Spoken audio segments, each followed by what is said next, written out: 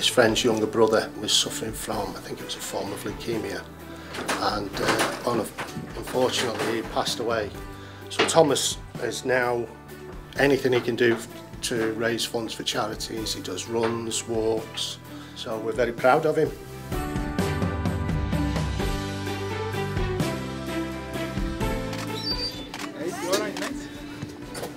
Thomas? Okay? Who's that, mate? Here's a shirt I got for you. Look at that!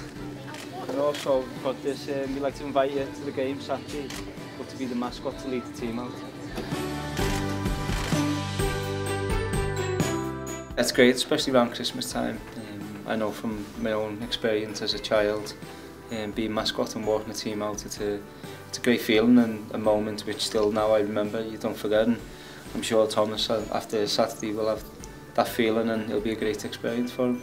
Thomas, what was it like to see Wayne Rooney? It's really amazing, a very big surprise. Is he your favourite Everton player? Yeah.